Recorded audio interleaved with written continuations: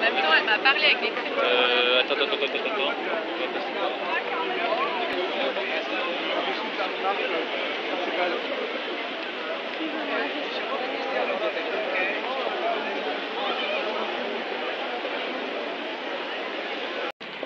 Ciao a tutti, mister Graucio Romano è ancora a Cannes eh, e oggi faccio un pochino il eh, video cosa boh reporter. E, è il giorno boh 5, 6, 7, forse 6. E, vi metto, vedo se riesco a montarlo all'inizio del video, se no vi metto sotto un filmato eh, veramente forte, veramente duro, sconvolgente. Eh, li vedrete, sono tanti, affollano il palais con dei cartelli e chiedono l'elemosina, ma è un'elemosina tutta cannense, perché?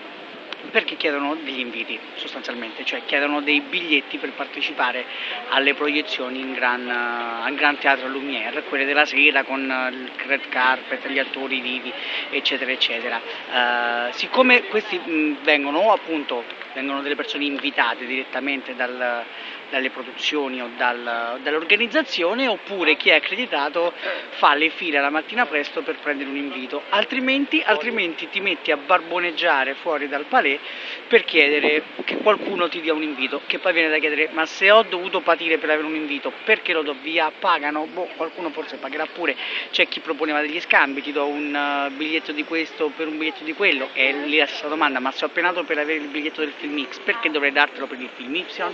Oppure danno abbracci, baci e insomma profferte di tipo più o meno velatamente sessuale per avere, perché? Per poter spoggiare i loro vestiti da sera come dicevamo ieri con i ragazzetti americani in gita a Cannes. Um, a proposito degli americani, un altro film americano che è passato in concorso ieri è Foxcatcher di Bennett Miller uh, che abbiamo tutti apprezzato con L'arte di vincere e uh, Truman Capote, in questo caso racconta la storia vera di un, uh, di un due fratelli lottatori liberi, campioni olimpici, che hanno a che fare con un magnate del, dell'industria che vuole fargli, insomma, ce li, ha, ce li ha a cuore, un mecenate che vuole dargli la, il miglior allenamento possibile per fargli vincere le Olimpiadi dell'88. Il loro, il loro rapporto però chiaramente poi a un certo punto si sporca, diventa più pesante. Eh, se l'occhio e il tono, lo stile di Bennett Miller sono sempre quelli vincenti, Qui la vera mancanza la fa una storia forte, un punto di vista forte, una voce narrativa che potrebbe essere quella di Truman Capote appunto o del personaggio di Brad Pitt nel film precedente. Qui la storia sembra uh, quasi sospesa, concetto, i, i, concetti forti che sono la fine del sogno americano, un certo tipo di valori americani uh, passati attraverso lo sport come se fosse una repubblica sovietica qualsiasi,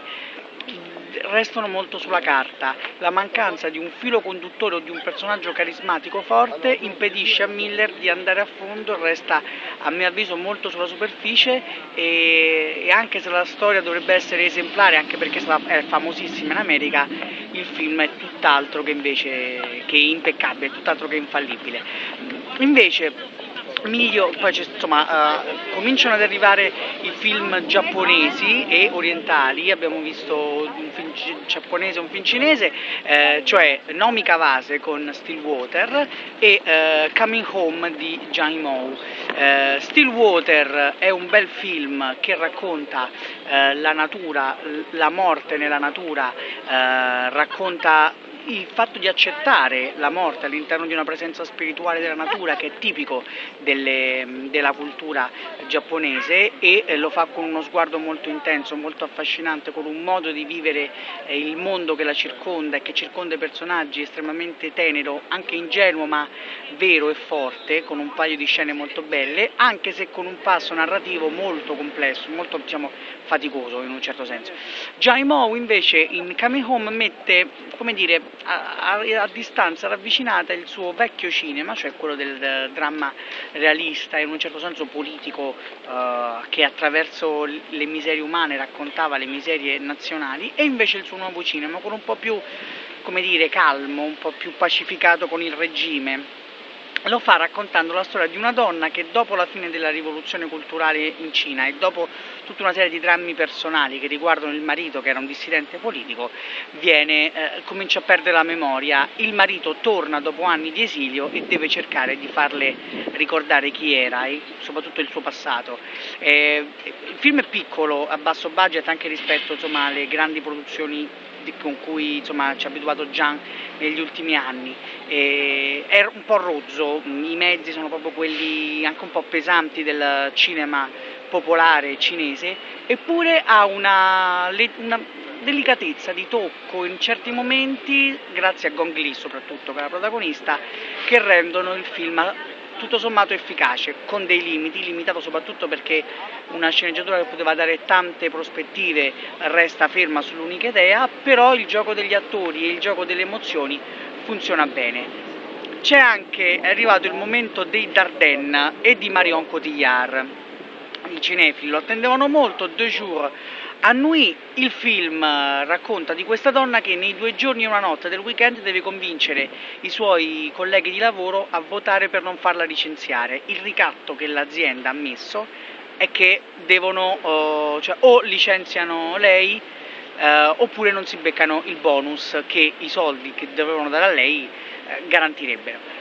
Diciamo che è un film con un'idea un po' alla Ken Loach, cioè quella di trattare le tematiche contemporanee del lavoro eh, e quindi come il lavoro renda eh, evidente una guerra fra poveri e lo fa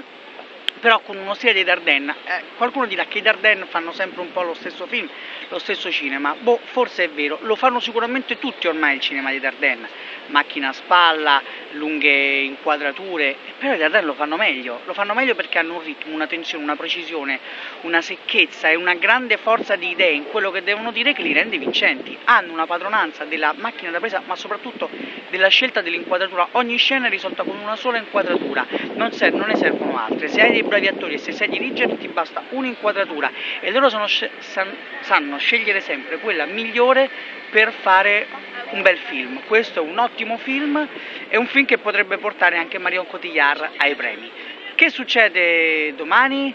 Beh, arriva Ryan Gosling, il suo, nuovo, il suo primo film da regista, perciò aspettatemi a domani.